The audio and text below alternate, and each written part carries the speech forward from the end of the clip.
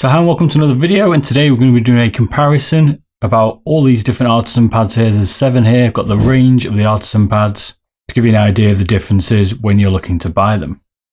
Now if you've been following my review videos and my mousepad friction videos, I normally do a test. Today we're going to do that in another video to show you how fast these pads are because there's quite a lot to get through here in the comparison and telling you what the differences are and it'll take up quite a bit of time so I'm going to do it in two videos. So I bought all these from the Japan shop and got them shipped over to the UK to pay a bit of import duty, which is quite expensive. And the only one I couldn't get as an FX is the Raiden. I've got that as a classic. I reckon there's some improvements, but we'll see. Maybe we'll use the Raiden as that kind of example to give you an idea of the classic pad, which the Raiden is, versus the FX pad, which the other ones are. So also when doing the friction test in the next video, I've also got a Zero Classic and a Zero FX, which I've got here. And I've got a soft foam extra soft foam and a medium foam so we can understand if that makes a difference when we're doing the friction test and that should apply to all the other pads as well. So if you've got a classic one or you can only get a classic, you'll be able to see kind of what you expect to get performance wise using that zero as a comparison. So I've tried to give as much detail as I can on these pads, obviously the mouse pad, so there's not too much to go over, but I'm going to give you an idea of what the differences are, different textures, and by the end of this you should kind of have an idea of which pad you want. So we're going to start with the Hayate FX. Now, apologies if I destroy all these names because I'm not Japanese, if you've noticed. And uh, I don't know Japanese. so, yeah, I'll put a list in the description so you can understand which ones I'm talking about in which order. So, I'm going to do these mouse pad reviews. I'm going to read a quick spec of what they say it is, and I'm going to give you my thoughts of what I think it is. And if there's any similarities, which there will be on these pads, we'll just assume that's the same, and I'll mention that. For instance, the backing on these and we'll understand that that's the same throughout every pad version here. If it's different, I will mention it. So the high, so the high, so the Hayate, so the high, Hayate, so the Hayate FX here is a polyester cloth. It feels like satin, they say. It's got a stitch edge, which it has. It's got a medium, large, and FX size that you can buy. It comes in at three millimeters thick. It's extra soft, soft, and medium foams available as well and it comes in black. That's what they're telling us here. Okay. They also say it's got an initial fast motion and it's a balanced pad here for control and speed. Now, my thoughts on this when I first picked it up was number one, it's not black. Mine's like more like a navy blue, and you can see that throughout the colour range. This one's black, this one's black, this one's black, blue, blue, coffee brown, although it's near enough black, and a white. But this Hayate FX is definitely blue not black. Now, if you've been following my other reviews, you know I'm not a fan of stitched edges. I do prefer a non-stitch edge like the classic, but I've got to say here on the range here from Artisan, I actually like the stitched edge because the way it fits on the pad, it doesn't have a lifted up edge like you see on something like the MP510, which annoys me. It's, it's almost built into the pad at the same level as the top of the pad, and that makes it a great stitched edge in my opinion. Now, it's not all there. The one thing that I do not like about these artisan pads is the base. The base on this desk, they are all over the place. It's almost like there is no resistance. They just slide about with this rubber surface. And it's a real problem for me. That is certainly a concern that the pad doesn't stick to the, the desk. My desk's nothing special here. It's not very smooth. Um, a lot of the other pads I've used, I've stuck to it no problem. But these artisan pads, they move around quite a bit. So you might need to secure it, and that's certainly something to think about when you're buying these.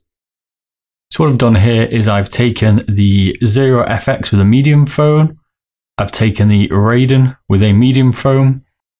I've taken out the classic Zero with extra soft foam. And I've also got the QCK Plus here from Steel Series. What I'm showing you here is the force required to push the mat across the desk. As you can see, the FX slides around.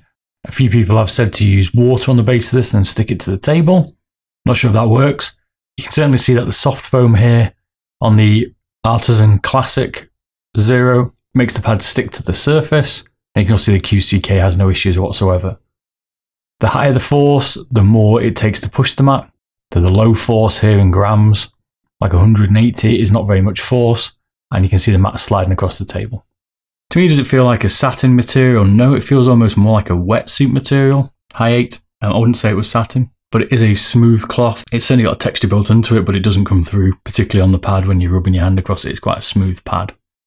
So what I've done at the end of this video as well is I've given my thoughts on the speed ratings of these pads from slow to fast as a guess, and I'm going to check that later on when I do all the friction tests in my next video, but feel free to put the seven pads here in a list of slowest first in the comments and give me your opinion as well. It'd be interesting to see how that turns out when we do the real test. So moving on now, we're going to go to the Hayate. We're going to move on to the Hayate, the Hayate Otsu, which is this pad here. So let's go through what they say about this pad. They say it's a weave. It's a smaller weave, they say, than the standard Hayate. Hard to tell because they're both pretty small, to be honest. It's a smooth texture. It's got a, a, stitched edge again, which it does. They all have stitched edge apart from the classic. We'll go into that later. It's medium, large, and extra large sizing. It's three millimeters thick, and they're all three millimeters thick here, including the stitched edge. It all comes in at three millimeters. You can't buy any other thickness pad. They say it comes in black as well. The weave density is small. They also say that the weave has some raised edges. Now, for me, the Otsu here does have a little bit more texture to it than the Hayate standard. I'll call it the standard. certainly does. Again, it's blue. It's a very, very dark navy blue. It's not black. Maybe mine got faded in the post, eh? So everything else is the same. The one, the few different comparisons here that I found on this pad is is really that it's almost identical to Hayate. It just has a slightly more textured surface. That's it. It's pretty much the same pad. One other thing to note, and a few people have mentioned it in comments on Reddit and around the internet, is that these used to come rolled up. As you can see in this video, they are all flat packed, including the Classic and now the FX. I don't know if they went through a period of rolling them up, but now they're all flat, which is great to see out of the box. So let's move on to the Hayate KOU, KOU FX. This is this one here. And again, it's another polyester cloth. They all seem to be polyester cloth. Again, they say it feels like satin. It's got a stitched edge. It comes in small, medium, large, and extra large. So the difference here, this one comes in small. Again, it's three millimeters thick and it comes in black again. So they say this is a fusion of the standard Hayate and the Otsu Hayate. Okay. And they're giving the priority to stopping here. So you get more control when you're stopping. Now that's going to be hard to show. We'll see in some of the tests, but give it a bit of a go and see what I think. I'm going to test all these with the mice and give a few games on them and, and try and understand there's other differences here, and we'll do that in the other video. So we compare it, it's got the same traits, it's got the same back in. It's more black, this one is black, which is a good start. It came with a defect, I don't know if you've spotted it on the logo on this one. This one's got almost like a blurred logo where it's kind of split, so quality is a little bit of an issue on this one. Don't know if that's across the pack because the rest are okay. This one's got kind of a weird double print on it. The texture, though, is the smoothest one out of the Hayate ones. It certainly is a nice feeling pad. This one I expected to be slightly quick. Other than that, it's pretty much the same. It's certainly a better stitch. It's a more almost like a traditional weave on this one, I would say. Moving on to the Hien FX. They say this one's got a pear skin effect. Okay, it does kind of look like that to be fair. It's a little bit more textured. It's got a stitched edge. It comes in small, medium, large, and extra large again, so you can get it in small as well. This one comes with a soft, extra soft and medium sponge available. And it comes in black and red. So this one is black, but it's more like a charcoal black. The one feature that stands out on this Hien one is the texture. It would say that it's the it's one of the most textured pads here from Artisan compared to the others. It's certainly going to be, in my opinion, one of the slower ones with the grips. Well, you'd think it is. It might make the mouse sit a bit higher and it might glide better, but we'll find out in the tests. I've certainly got this one down as one of the slowest, if not the slowest. One of the unique features they've come up here, and I don't know how true this is with the Hien, is that it's, it's, it's humidity and sweat resistant. So if you're living in a bit more of a humid country, this one might be better for you. It won't absorb the water from your hand or sweat. That's what they're telling us anyway. I haven't tried that myself. So moving up here, we've got the Zero FX. Now they say in their comments that this is the closest to the QCK Steel Series texture-wise, and it is. It's probably a little bit rougher, but it is certainly very similar to that texture. This is a knitted polyester. a smooth texture. It's got a stitched edge again as we stitched edge again as we know. It comes in medium, large, and extra large. It doesn't come in small. You can get extra soft, soft, and medium sponge as well, which is good. And it comes in black. And again, this one is this one's jet black. This is a real jet black like the QCK. My only thoughts on this one are that it does have the characteristics of a QCK. I do prefer the edge into this than the QCK, which is unusual because it's the stitching edge. But again, the base would be an issue for me with how much it slides around. QCK is more secure. So you can see so far they're very, very similar, these pads. and the testing of the friction is probably what's going to really tear them apart.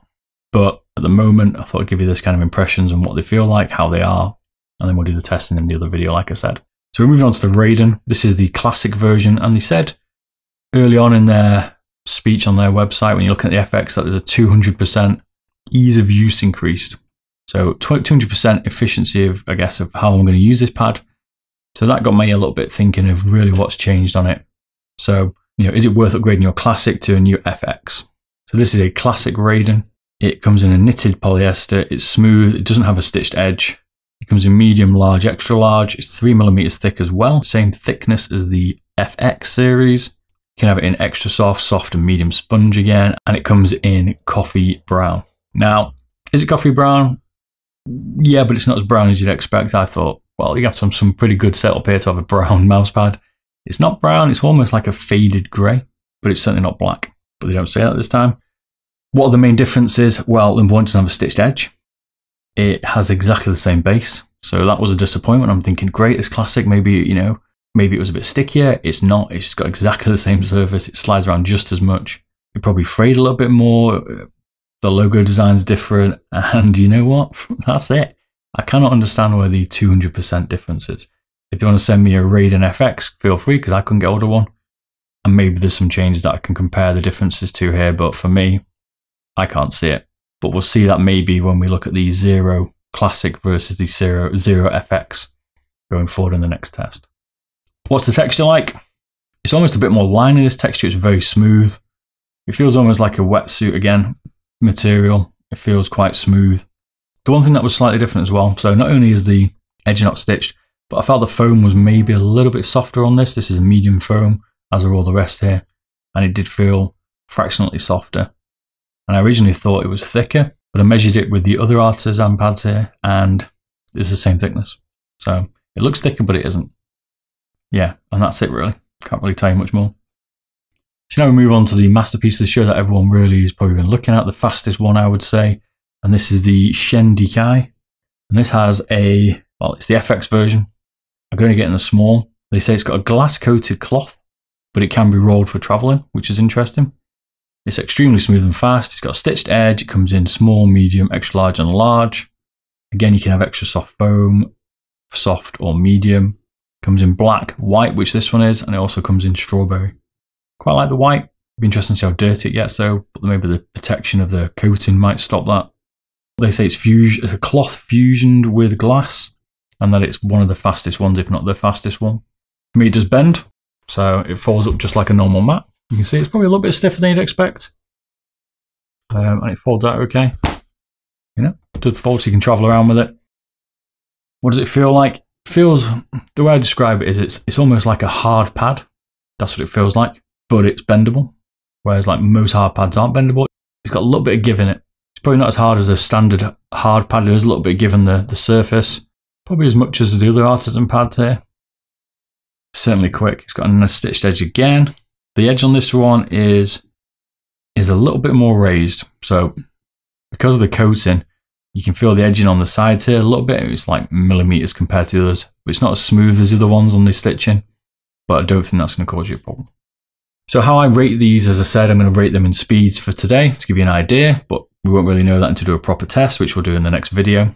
Or to keep this video fairly short, I'm going to go from the slowest to the fastest. Put in the comments which ones you think.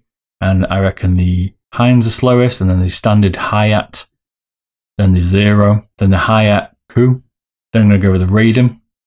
Then I'm going with the Hayate Otsu, and then I'm going to go with the Shidenkai as the fastest pad. That is my thoughts, feeling the textures, trying to get an idea of what performance they're going to do. So I hope this has given you what you wanted. It's quite hard to, to give you a comparison here because they are so, so similar. I can see why a lot of people have requested this video. I was certainly struggling to try and find anything that I could tell you a lot about in the differences. I've given you some good shots, hopefully, for the textures. Put some more on my Instagram page if you want to take a look. And yeah, hopefully this has given you a good idea of what you want to see. The next one's going to have all the speed tests, which is what we're interested in. And we'll use the FK2 to do that to give us a standard comparison. I'm certainly looking forward to it. And I'm expecting some pretty fast speeds out of this bad boy, but we'll see. Maybe that'll be the fastest pad we've tested. So hope you've liked this video. Don't forget to like and subscribe, and I'll see you all again soon. Catch you later. Bye bye.